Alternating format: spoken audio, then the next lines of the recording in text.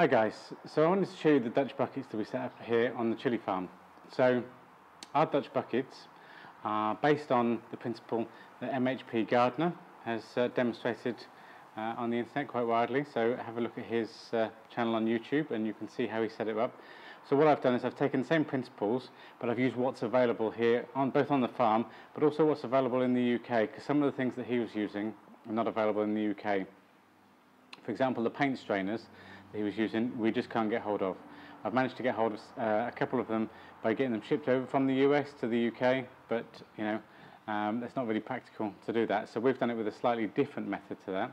Um, so first of all, what we've done is we've recycled some of the containers that we've got here on the farm. So we've got 20 litre containers, similar to a five gallon bucket, but it's a 20 litre container that we've had our chili focus in, which is the food that we've used to uh, feed the plants in the past when we've been doing uh, hydroponics. Uh, so now it's gone full circle. We're now using them for the aquaponics system, which is uh, quite nice. So what we've done is we've taken the top off them and then we've lined them uh, with something slightly different to the paint strainers. So we've actually used uh, mutton wrap, as it happens, uh, which is like a stocking net. we've just sealed up one end, put that in there, wrapped it over the edge, and then the rest of it is very similar. So I'll, I'll show you how we set that up. So you start with the uh, 20 litre container. Um, we used these last year. Um, we did an experiment um, by cutting a two inch hole at the top, putting a net pot in, and we used them as um, suspended pot, deep water hydroponics. Uh, it worked quite well, uh, but it didn't, uh, it didn't have enough capacity there for the tomatoes. Uh, so using the Dutch bucket system this year means that it will continue to recycle the water, so therefore a lot better for the, the tomatoes. So what you do is you get one of these containers then, um, and obviously all this top bit here is not uh, not needed. So literally just, just below all of the, the top bit, you just take a line and just saw that off. Just normal hand saw is fine. And then once you've done that, you end up just with a nice smooth uh, top to that, and it just gives you a nice bucket that you can use. So after you do that, the next job is to take a uh, one inch hole saw and just to make a hole at the front. So we've done that um, about two inches up from the bottom, just so you've got a nice reservoir in the bottom there for the water, uh, and then it'll just keep cycling around as you're dripping water into it. So you then take your, your rubber washer, feed that into there,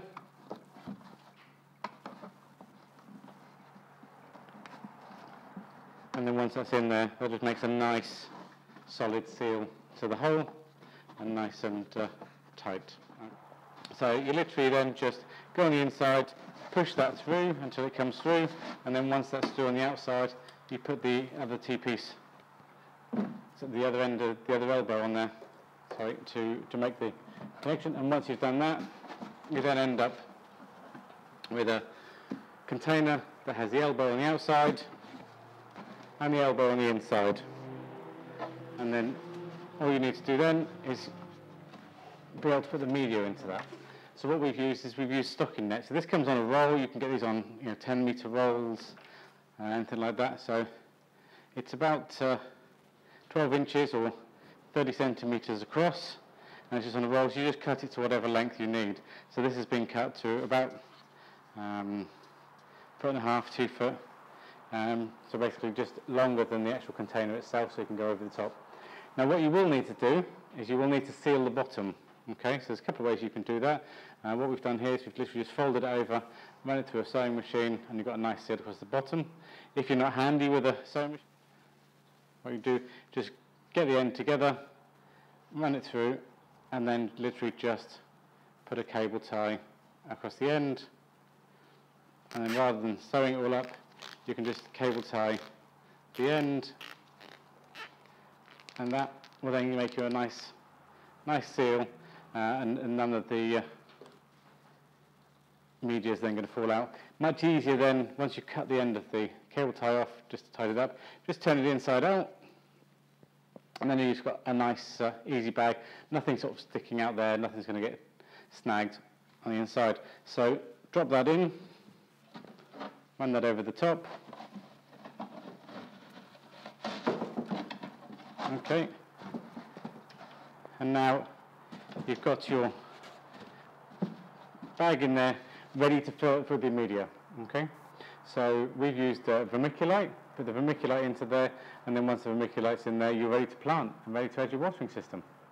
So if you look at any of the watering systems, then this will look very familiar to you. It's, uh, it's really quite straightforward. So we've got the elbows coming out into some waste pipe, and then it's coming straight down, and it's going into 15 mil waste pipe. So just drill the holes into the top of the waste pipe, and then just run that all the way along, putting some clips on the side to make sure there's a little gentle fall, and then that runs all the way along, and it continues all the way past all of the Dutch buckets, and then it goes down, and then back into the main line, which then goes back to the sump tank with the fish. Okay, and then the actual container itself, uh, just the plant is planted into there. So in this one, it's got the tomatoes, and then at the back here, we've just literally taken a bit of pipe, and we've just dropped that in there just so we can encourage the water to go near to the roots, and then got a simple drip line in there, so the water's coming through, and we've got our set to about four litres an hour. I think that's uh, coming through that. So it's just literally on a spike, and rather than actually putting the spike into the vermiculite, we've just put it into a little bit of pipe, and then it just encourages it to go down. I mean, none of the, none of the, the water sat on the surface, and we're getting no algae growth there, which is lovely. And the uh, tomatoes just growing up there. And then you can see along the line, we've got uh, a whole row of tomatoes. There's about 15 tomato plants, there's a couple of cucumbers, and we've even got some corn as well.